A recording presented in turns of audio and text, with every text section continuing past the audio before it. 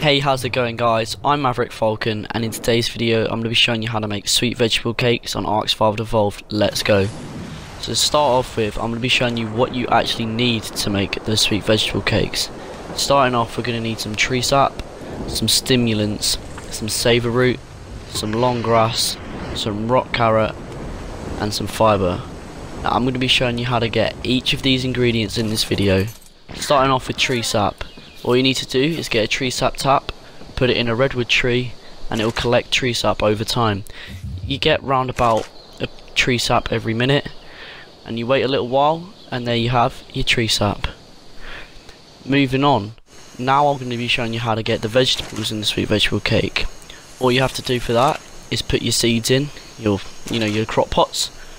Make sure you put fertilizer in there as well, mixed with some water and you just wait a little while and you will have all your vegetables. I'll be right back.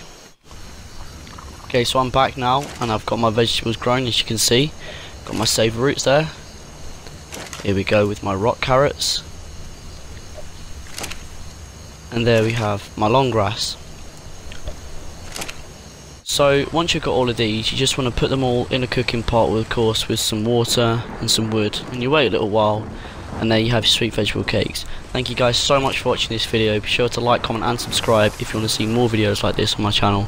Peace.